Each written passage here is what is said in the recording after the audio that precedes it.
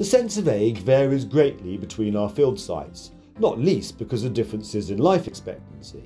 In Kampala, people who are 40 may feel they're quite old, while in Kyoto they may not feel particularly old even in their 80s. In many places, there's been a huge change in the experience of aging. This was the case in Ireland. We found that there is no longer any distinct category of elderly. People just feel continuity from youth until they become frail. So, frailty is the new old age, and this can be physical, mental, or financial.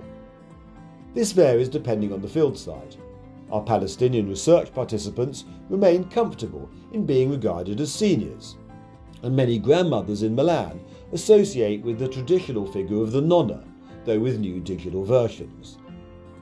There's an equally varied relationship to retirement.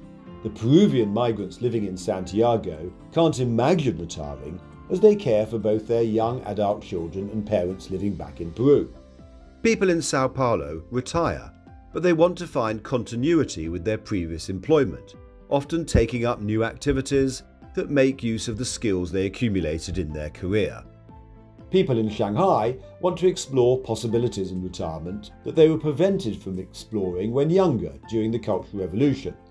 While in Dublin, it is more common for people to focus on crafting a new active retirement life that may have no reference to their prior employment. For more on our findings about the social categories of ageing, you can follow our blog and social media and there find out about our open access books, our films and free university course.